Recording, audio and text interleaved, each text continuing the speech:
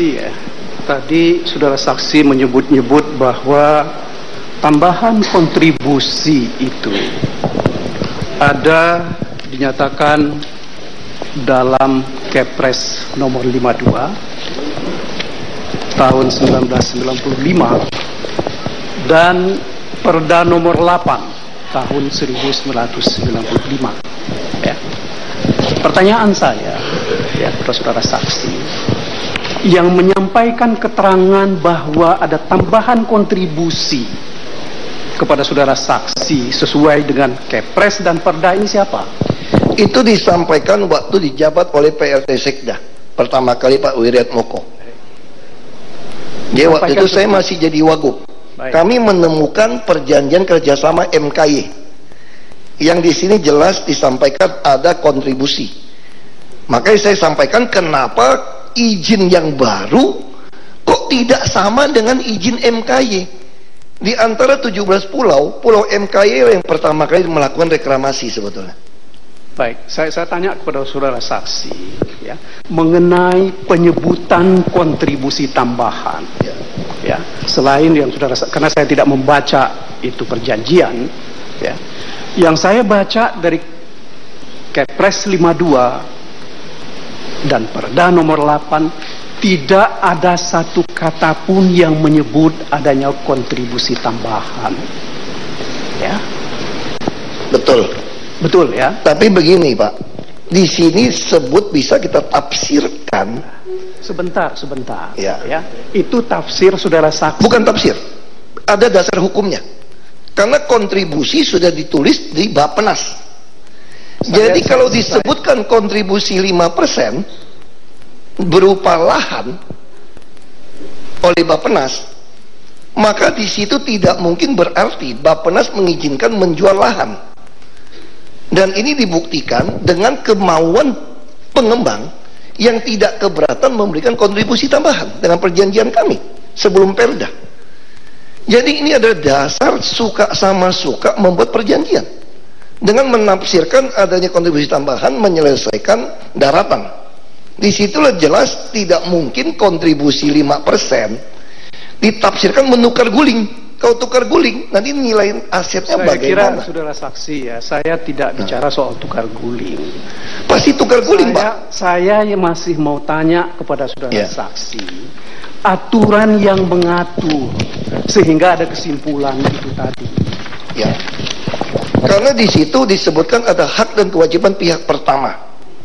Di situ disebutkan untuk menyampaikan membangun semua yang di darat termasuk pompa, rumah tua segala macam. Saya kira Nah, untuk membangun itu saudara, uang dari mana? Begini begini. Kalau saudara saksi lihat secara baik pertimbangan huruf B hmm. Ya dari Kepres nomor 52 ya. itu dikatakan ruang daratan pantai. Ya, ya, bukan ruang daratan ini tegas betul yang ada secara terarah dan terpadu. Makanya gini Pak, saya sampaikan artinya waktu Kepres ini dikeluarkan ada semangat substansi memperbaiki daratan Pantura. Pantura itu 40% tenggelam secara teknis. Jadi untuk memperbaiki Pantura ini maka Anda harus membangun rusun juga karena banyak penghuni-penghuni liar di atas saluran Pantura. Ya. Pertanyaan saya sederhana Pak penasihat hukum. Bagaimana kita bisa membereskan pantura kalau uangnya itu tidak ada kontribusi? Baik, saya pertanyaan saya kepada saudara saksi ya. Ini kan saudara saksi sekarang ini akan membebankan biaya di daratan dengan pulau. Kenapa tidak saudara saksi minta kepada pembangunan-pembangunan yang di daratan? Di daratan sudah ada fasos-fasos kalau KLB kami juga kenakan kontribusi tambahan. Ada. Saya bisa bangun semanggi itu dibebankan pada mereka. Sekarang semua izin sertifikat layak fungsi kami bebankan menyelesaikan ducting dan trotoar. Kalau tanpa ducting trotoar sekeliling maka saya tidak berikan izin. Saya bebankan juga untuk menyelesaikan DKI. Eh, baik. Pertanyaan saya adalah yang saudara saksi bebankan itu apakah juga 15 persen? Ya, tidak pakai persen, Pak. Jadi di situ ada kewajiban trotoar. Karena kita tidak pernah menemukan presiden dasar hukumnya. Kalau pulau reklamasi ada dasar dari Ancol Barat dan Ancol Timur. Di situ dengan BUMD saja dikenakan 30% dividen. Maka dari situlah saya tidak menggunakan dividen dirumuskan jadi NJOP. Jadi ada dasarnya, ada hitungannya. Baik. Saya sudah tanya terhadap saudara Vera di ruangan Ya. sidang ini, ya. Itu hanya dari asumsi. Betul.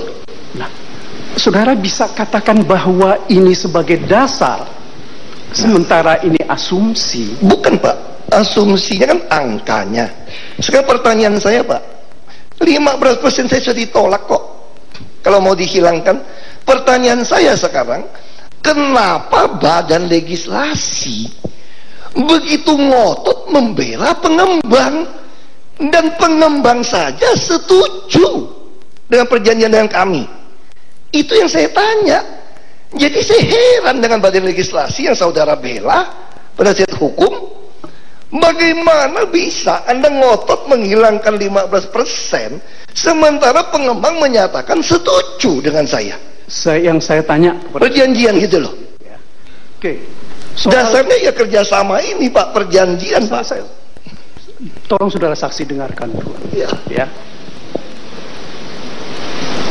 Dari perjanjian saudara sebut itu ada satu. Terhadap perjanjian-perjanjian yang lain yang juga dibuat tahun 97, apakah juga ada yang seperti itu? Ada kontribusi, hanya tidak sebutkan angka. Saya saya tahu. Ada Pak. Di dalam tagih kontribusi pun semua ada. Jadi istilah kontribusi tambahan itu justru di presiden hukum perjanjian dengan MKY. Itu ada di pasal 7 ayat 5 kontribusi tambahan dalam penyediaan infrastruktur dan pelaksanaan penataan kawasan pantai utara Jakarta di luar area proyek. Ini dasar hukum kontribusi tambahan. Ada kata tambahan. Saya hanya menggunakan hak diskresi saya. Kalau saya sebagai gubernur, gubernur yang lalu di tahun 97 mengenakan kontribusi tambahan kalau sekarang saya tidak menggunakan kalimat yang sama, kira-kira penuntut umum akan menganggap saya terima uang atau apa?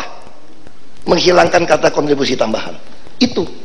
Jadi hari ini kita berdebat, persoalannya adalah bukan soal dasar hukum. Dasar hukum soal perjanjian, soal tafsiran. Saya sederhana Pak, kalau saya jadi auditor Pak ya, kalau saya temukan ini, ini dihilangkan dulu Pak. Kalau saya temukan ini, saya akan bertanya, anda gubernur, kok bisa-bisanya gubernur yang lama minta kontribusi tambahan, kenapa kamu tidak ada kontribusi tambahan? Ini kontribusi tambahan ini jelas, Pak penuntut umum. Justru saya mempersoalkan kenapa Pak Fauji Bowo memberikan izin di 2012 tanpa kata kontribusi tambahan. Saya kira keterangan itu silahkan saudara tanya. Ya, saya harap penuntut umum bisa proses lebih dalam untuk masalah ini. Kalau Anda mau main lanjut lebih lanjut, Saudara saksi ya, tolong proses lebih dalam Pak penuntut umum. tolong hormati persidangan. Ya, ya, saya hormati. Haknya di hakim. Kalau hakim nggak suruh berhenti, saya nggak berhenti, Pak. Silakan aja, Pak. Baik. Saya tanya kepada saudara saksi ya. Tadi juga saudara saksi mengatakan bahwa kontribusi tambahan ini dihitung berdasarkan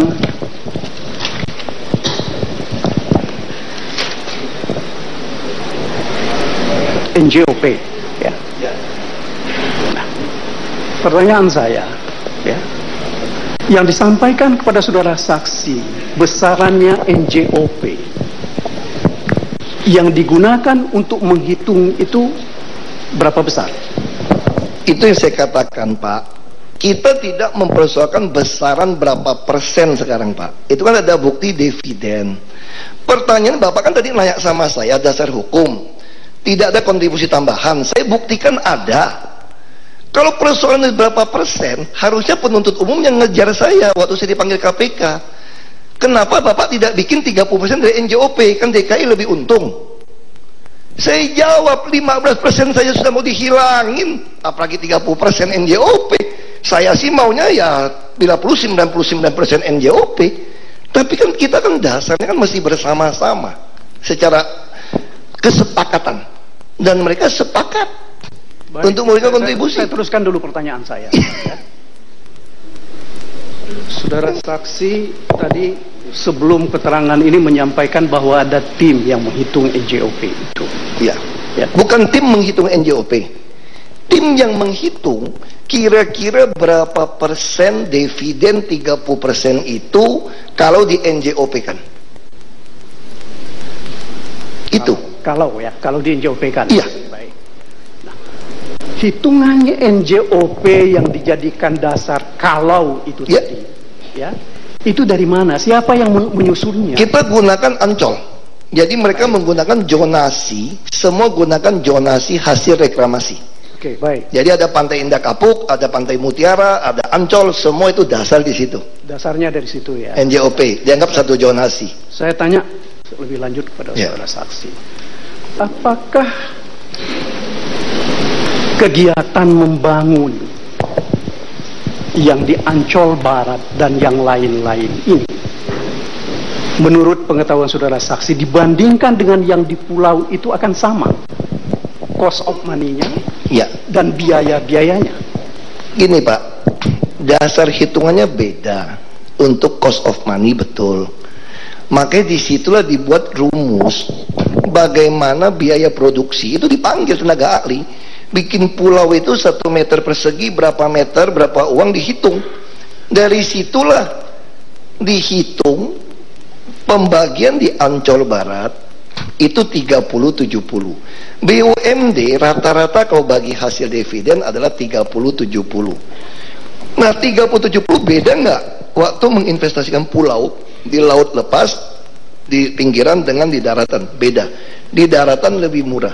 Kalau dia lebih murah maka pembagian 30 persennya akan lebih besar jadi kan kita bicara pertama kan soal untung rugi. Jadi kita tidak membicarakan ini lebih mahal, lebih murah. Maka karena dasar hitungan adalah 30% dari keuntungan.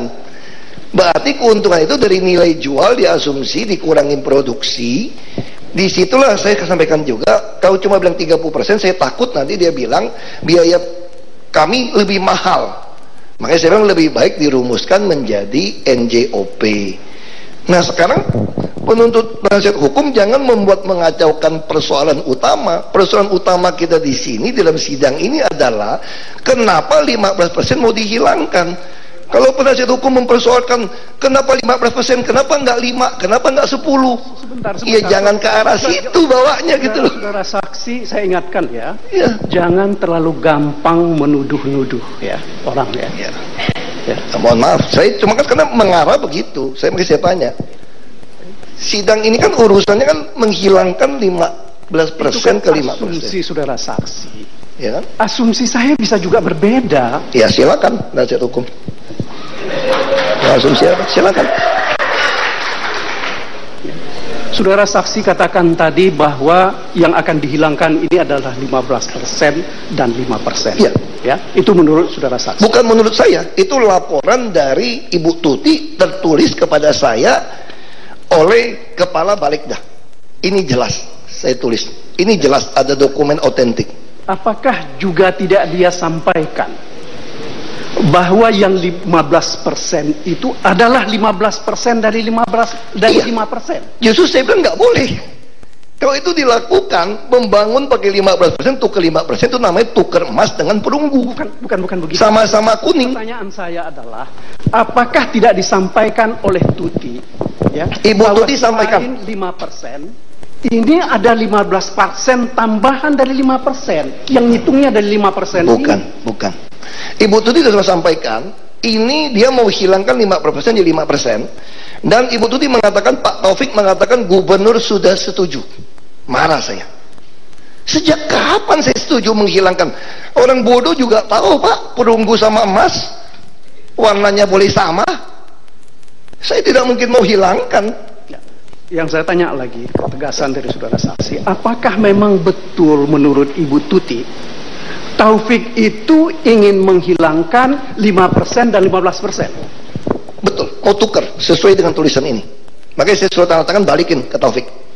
Di situ sekda lapor sama saya, Taufik marah, kenapa gubernur bilang saya gila? Tauf, sekda mengatakan ini bukan gila pak, bila pak, bila kalau. Sejak kapan bahasa Melayu saya begitu jelek, bila kalau? Ya, yang ini mulia, jelas gila kok. Yang mulia, usul kami supaya ini clear apakah betul siapa di antara para saksi ini yang yang yang bicara secara benar dan tidak mengenai ini.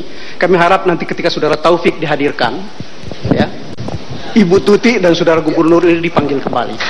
Ya, bagus itu.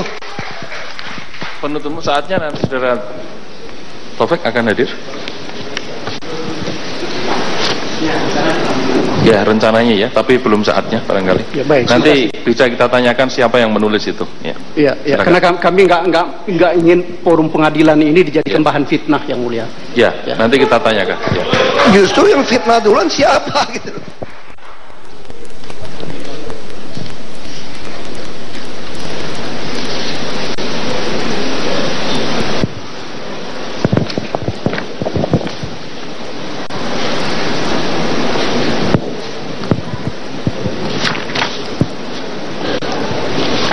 Saudara saksi, kemarin saya tanya kepada saudara Saifullah sebagai sek- sekretaris daerah saudara saksi. Dia menerangkan di hadapan persidangan ini dari seluruh PAD ya itu ada beberapa bagian dari pemerintahan itu akan mendapatkan insentif. Ya, pertanyaan saya kepada saudara saksi, apakah ketika hal ini dibicarakan dengan staf-staf saudara saksi, ya, ada juga yang membicarakan soal insentif ini Insentif apa? dari pendapatan daerah. PAD kami ada insentif, ide ada PP yang mengatur.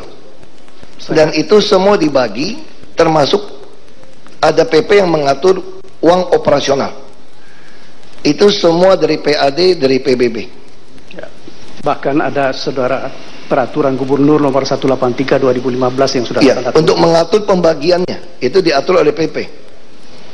Saya kira Pak Hakim ini tidak relevan menanyakan soal PP, soal insentif PAD di sini. Saya kira ini sangat relevan yang Eh, pembahasan rencana peraturan daerah maksudnya ditanyakan apakah ada insentifnya atau tidak kan begitu? Ya, ju- justru karena itu yang saya mau tanya yang mulia. Bukan, kalau RPP ini tidak ada insentif ini. Tidak ada insentif. Tidak ada insentif-insentifan soal ini.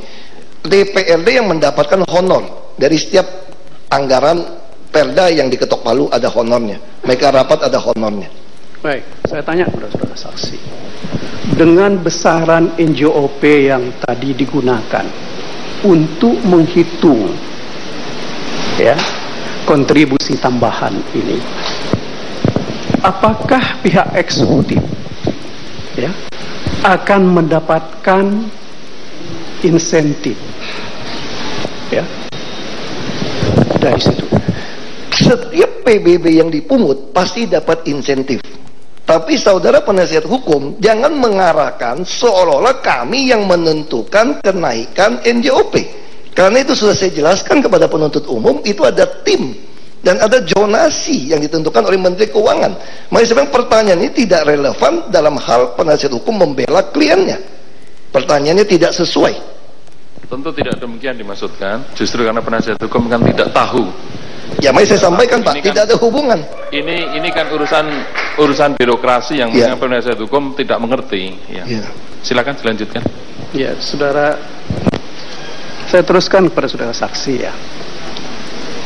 Tadi saudara saksi mengatakan mengenai besarnya kontribusi tambahan ini ya, sudah dimasukkan dalam raperda. Pertanyaan saya, saudara saksi tahu kapan raperda RT RW ini mulai dibicarakan? khususnya mengenai kontribusi tambahan itu. Saya tidak tahu persisnya, tapi waktu mengajukan raperda ini kan kita masukkan surat. Itu teknis bisa tanyakan kepada staf saya. Yang saya, Saya hanya kebijakan. sayang saya mau tahu kebijakan saudara saksi itu yang berkenaan dengan 15% ini, apakah kebijakan ini sejak raperda ini dipersiapkan? Sejak sebelum sebelum disiapkan, kami telah berniat ada kontribusi tambahan. Itu dimulai pertemuan di Pantai Mutiara tahun 2013. Saat itu mereka hanya bersedia memberikan kontribusi 1 juta sampai 2 juta rupiah tambahan. Maka dari situlah kita mulai meminta membuat merumuskan. Baik, saya pertanyaan saya adalah, saya tanya kepada saudara saksi Vera dan Tuti kemarin ya dalam persidangan yang lalu. Mereka sampaikan bahwa RT RW ini sudah disiapkan sejak tahun 2001, 2011. Ya, tapi tidak ada satupun yang bisa menjawab apakah kontribusi ini sudah disiapkan atau belum masuk dalam rapor. Betul, itu yang saya temukan di sini. Saya curiga, kenapa izin oleh saudara Fauji Bowo, kenapa Raperda di zaman saudara Fauji Bowo ada bukti kontribusi tambahan disilangkan. Maka saya tidak berani mengikuti jejak beliau. Karena kalau ini satu hari jadi temuan, ini bagi saya tindakan korupsi. Maka di dalam forum ini, saya berharap penuntut umum atau KPK atau jaksa atau polisi bisa meneliti yang Bapak maksudkan. Kenapa 2011 dalam menyiapkan Raperda ini, kenapa tahun 97 ada, di dalam menyiapkan Raperda 2011 hilang kata kontribusi tambahan, kenapa izin prinsip ke semua pulau yang ditandatangani oleh saudara Fauji Bowo beberapa minggu, seminggu sebelum kami dilantik itu menghilangkan ini. Saya minta semua aparat hukum periksa untuk masalah ini biar media bisa tulis ada apa di sini. Ada apa? Bagus penuntut penasihat hukum anda mau gali situ justru saya dari dasar situlah saya tidak berani lakukan. Kalau saya ikut, saya ikut masuk nanti karena ada penghilangan kontribusi tambahan. Pertanyaan saya lebih lanjut kepada saudara saksi, ya. Mengenai besaran kontribusi tambahan ini, sosialisasi yang saudara lakukan, ya, itu seperti apa? Kita pada pertemuan ada YouTube. Saya juga sudah sampaikan kepada BUMD, kalau mereka keberatan, silakan drop. Menurut saya 15% itu sudah sangat ideal dengan dasar 30-70-nya BUMD. Kalau masih tidak terima ini, kita punya hak tidak melanjutkan pulau reklamasi. Itu saya tegaskan. Jadi itu adalah hak prerogatif saya ketika sesuai Undang-Undang 40 tahun 2014 ketika saya ingin menambah penghasilan di DKI menyelesaikan semua pembangunan di DKI. Hey, pertanyaan saya ya. Itu saudara sudah gunakan itu sebagai diskresi Ya, betul. Ya. Punya hak diskresi untuk menentukan. Pertanyaan saya tadi saudara penuntut umum bertanya kepada saudara saksi, ya, mengenai belum disahkannya raperda yang baru ini. Ya, kenapa saudara saksi tidak gunakan hal yang sama untuk memberikan izin kepada pulau-pulau yang sudah dibangun, memberikan izin bangunannya. Tidak bisa kalau IMB, tapi kalau semua izin pelaksanaan bisa. Saya kasih kok izin. Baik. Saya kasih izin, reklamasi bisa. Hanya yang tidak bisa itu membangun. Reklamasi bisa. Saudara saksi tahu ada perjanjian-perjanjian tahun 2007 atau 97 ya. yang memberikan kewajiban Pemda DKI berkewajiban untuk memberikan izin dan tanggapan secara tertulis ya, ya 30 hari sejak proposal disampaikan.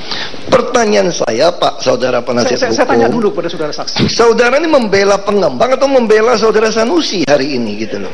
Saya kira saya Pengembang saja tidak ada yang keberatan 15% saya bingung gitu loh. Kenapa tuh singgung 15%? Pengembang tidak keberatan. Kalau ada pengembang menggugat, silakan saudara bela. Kita duduk lagi di sini. Sudah silakan saksi. tuntut saya, Sudah pengembang. Ya. Silakan minta pengembang tuntut saya. Itu saja. Sudah saksi ya. Kenapa saya tanya ini? Karena saudara menggunakan diskresi. Diskresi haknya kepada daerah ya. selama memberikan keuntungan. Kenapa diskresi itu tidak digunakan untuk hal yang lain? Hal lain saya gunakan juga dengan koefisien luas bangunan. Ada hitungan rumusnya juga. Ada rumusnya.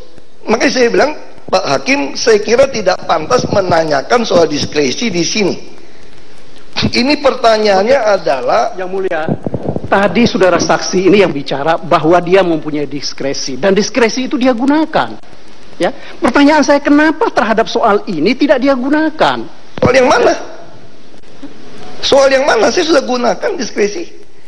Pertanyaan saya kan sekarang hari ini, saudara kan mau menanya saya kenapa 15%? Saya katakan pengembang tidak keberatan. Yang keberatan kan ada di balik menghilangkan 15%. Kenapa jadi nyenggol ke pengembang? Saya bilang saudara ini membela pengembang atau membela saudara Sanusi di sini maksud saya gitu loh. Saya sampaikan penuntut umum kalau gini saya tidak saya keberatan dengan seperti ini saudara hakim yang mulia hakim mengarahkan sesuatu yang bukan topik pembelaan hari ini. Saudara saksi, saudara tahu saya membela ini untuk kepentingan saudara Sanusi. Saudara saksi tidak bisa mengarahkan saya untuk bagaimana cara saya membela. Ya silakan tanya kalau gitu. Saya juga jawab. Ya, silakan tanya saja.